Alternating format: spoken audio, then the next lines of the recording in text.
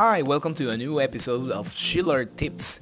In this case, we're going to review how to export a 3D object from Blender to Facebook.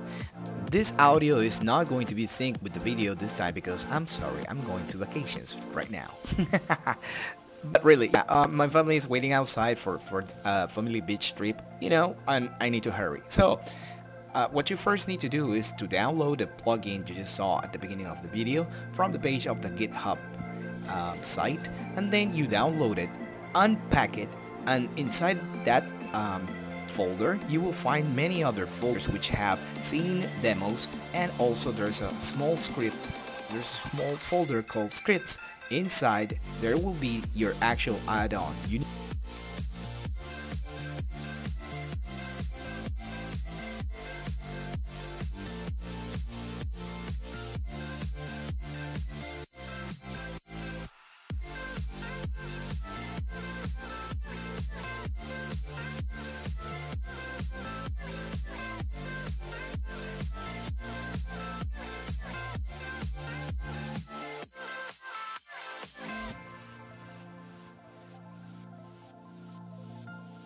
need to um, zip it and then from the Blender's add-on tab you will add a new add-on.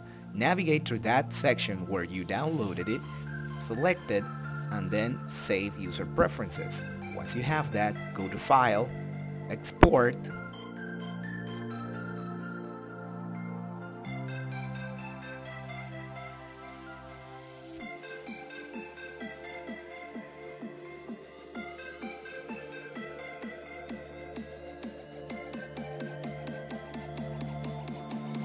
well actually before that I'm going to create a base mesh. In this case it's a T-Rex. I love this T-Rex. Later on the description I will write how you can get it.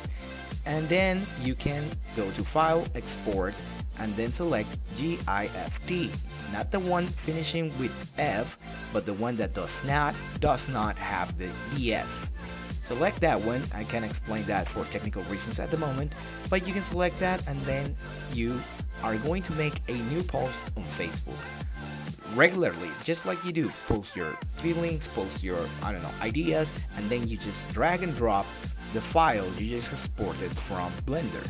That simple.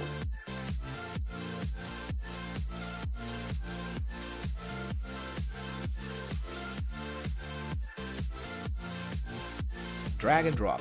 You can also select your background color isn't it amazing? This opens a great opportunity to post your portfolio on 3D. Your models can have textures, also morph shapes. It's amazing. I mean, Facebook really is giving us a great chance to perform better on the 3D aspects of the web. Alright, consider uh, subscribing to my website and also check out the news by subscribing on my channel. Thank you very much.